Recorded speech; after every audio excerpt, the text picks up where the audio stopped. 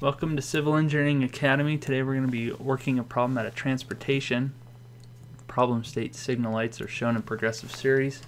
The offset of the traffic light between lights 2 and 6 is 35 seconds. What is the design speed of the road in miles per hour? And what we're given is answers A through D. Given this beautifully drawn diagram and uh, traffic lights 1 through 6 are shown on top with distances on the bottom. So we know between lights 2 and 6, it takes 35 seconds to get between those two.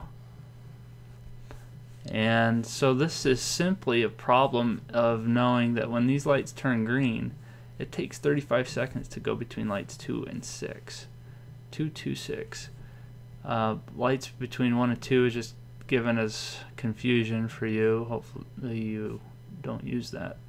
And then you just use uh, equation velocity is distance over time.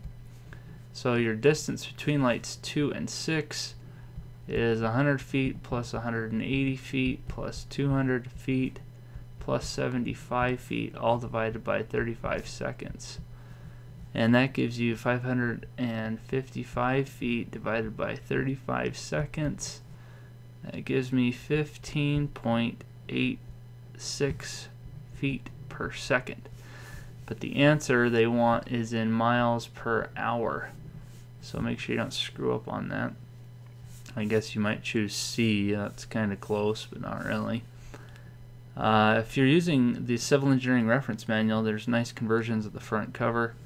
And one of those is um, you can convert from feet per second to miles per hour. So you take 15.86 feet per second, multiply it by a conversion factor of 0.6818, and that gives you 10.81 miles per hour.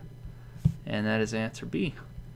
I guess you could screw this answer up by putting 150 in for distance. That would give you a wrong answer. Um, but hopefully you don't do that. So I hope this helps. If you need any more tips and tricks, and uh, also to find a nice practice exam, head on over to civilengineeringacademy.com and they'll be able to help you out. Thanks, bye.